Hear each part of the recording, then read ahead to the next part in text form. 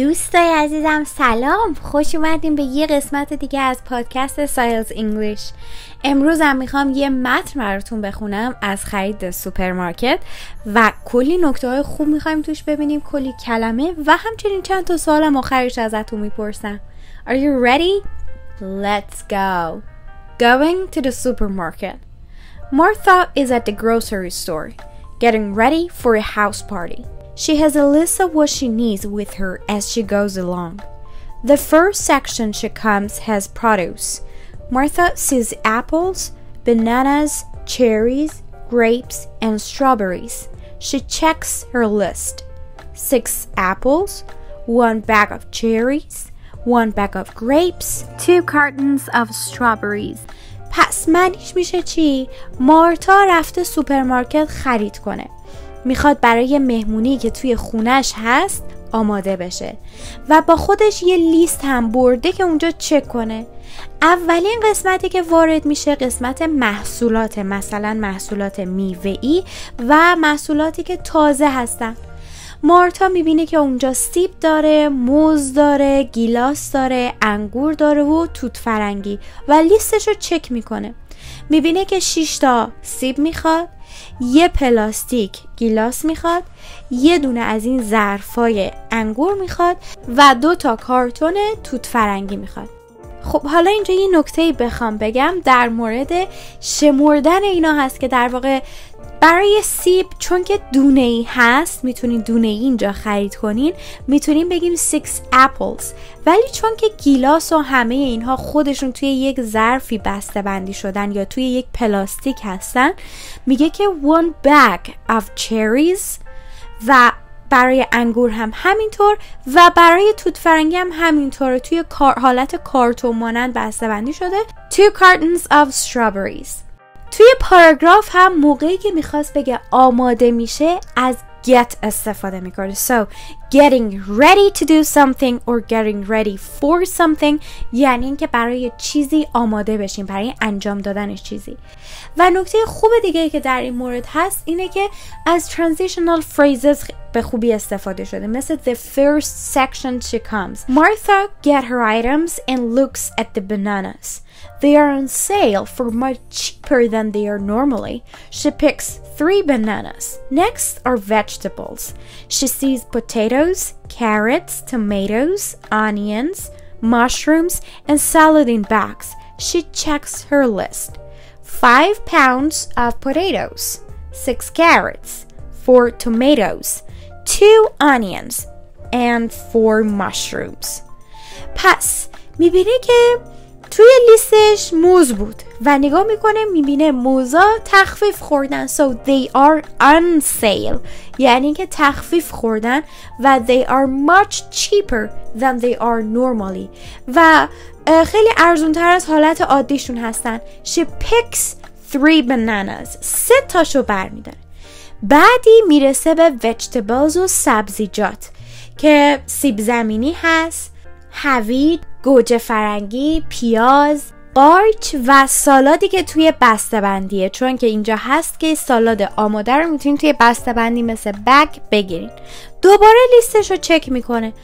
پنج پوند سیب زمینی می‌خواد. 6 تا دونه هویج می‌خواد چهار تا دونه گوجه فرنگی می‌خواد دو تا پیاز و چهار تا هم قارچ.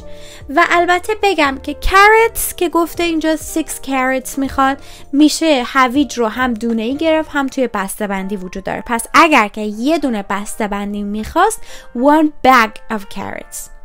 As she is putting her items into her cart, Martha checks the many bags of salad and chooses two of them. She pushes her cart ahead. The next section is meat and dairy. She sees meat, fish, cheese, eggs, and milk. She checks her list. Two fish, salmon, one block of cheese, one dozen eggs, and two gallons of milk.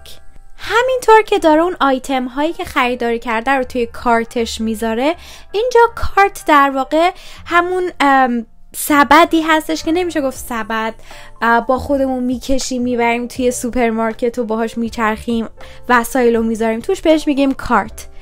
و اینجا میگه که مارتا میاد کلی از این بسته‌بندی های سالاد رو نگاه می‌کنه ببینه کدومش بهتره و دو تاشو انتخاب می‌کنه. و she pushes her cart ahead. Push یعنی فشار دادن. Ahead یعنی به جلو. پس همینطور cart ش رو به جلو هدایت می‌کنه و میره جلو. The next section is meat and dairy. section و قسمت بعدی سوپرمارکت گوشت و لبنیاته. گوشت می‌بینه ماهی می‌بینه پنیر می‌بینه. البته اینجا منظورمون پنیر مثل مثلا فتا و پنیر صبونه نیست. وقتی چیز عادی میگیم یعنی پنیر مثلا پیتزا و اینا. Eggs که تخم مرغ and شیر. بعد دوباره لیستش رو چک می‌کنه. To fish. توجه کنین اینجا. درسته که fish اینجا جمع to fish ولی es نگرفته. یعنی به صورت جمع استفاده نشده. One block of cheese. پس برای پنیر پیتزا میشه بلاک استفاده کرد که یه همچین قسمت کلی پنیر پیتزا هست رنده نشده است. و نوعش هم چه بعدم دوازده تا تخم مرغ انتخاب میکنه one dozen eggs و two gallons of milk یه بندی شیری که دو گالونی هست She looks at the meat that is on sale and chooses a 5 pound roll of hamburger. She gets the rest of the items in that section. She still needs rice, bread, salt, sugar, and flour. She gets two bags of rice, four loaves of bread, a two pound bag of sugar, a two pound bag of flour. بعد می‌بینه که گوشتا تخفیف خوردن. یه دونه رول پنج پوندی همبرگر می‌گیره گوشت همبرگر.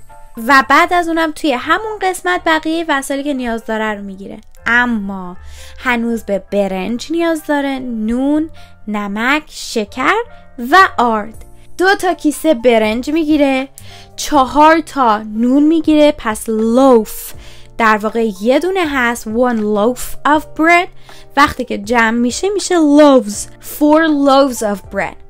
یه بسته دو پوندی شکر و یک بسته دو پوندی هم آرد می‌گیره. Martha then realizes that she has forgotten something. She runs back and gets one container of salt and then rushes to the checkout. She puts her groceries into her car and leaves. بعد از اون مارتا یادش میافته که وای یه چیزی رو فراموش کرده. میدوه و برمیگرده یه بسته نمک می‌گیره و میدوه میره سمت چک که در واقع جایی هستش که حساب می‌کنیم. So چک همون قسمت حساب کردنه. و بعدم همه وسایلی که خریده رو می‌ذاره توی ماشینش و اونجا رو ترک می‌کنه. خیلی خوب. حالا بریم سراغ سوالا. خب سوال اول. What item did Martha pick up on sale in the fruits and vegetables section? 1. 4 mushrooms. 2. 6 apples. 3. 3 bananas. 4. 2 bags of salad. So, it was on sale in fruits and vegetables section. You're right, it was bananas. 3 bananas. Very good. So, question number two Which item did Martha buy five pounds of in the meat and dairy section? Number one, five pounds of cheese. Two, five pounds of milk. Three, five pounds of meat. Four, five pounds of fish. You're right, it was five pounds of hamburger meat actually. Question number three How much bread did Martha get while she was shopping at the grocery store? So I'm not gonna read the options. Do you remember? Do you remember how many loaves of bread she got? You're right, it was four loaves of bread. Very good. And question four What item did Martha have to go back for at the end of her shopping trip? Do you remember? A block of cheese, a bag of cherries, one dozen eggs, one container of salt. You're right, it was one container of salt. And in the question, you see shopping trip. توی این در واقع مسیر خرید کردنش به اون خرید کردن گفت trip و خب کاملا میشه استفادهش کرد و اگر جایی دیدیم بدونین فقط منظورش این مسیر خرید کردنیه که رفت اگر سوالی در مورد این متن داشتین یا در مورد کلمه حتما توی کامنت ها برام بذارین و تا قسمت بعدی فعلا.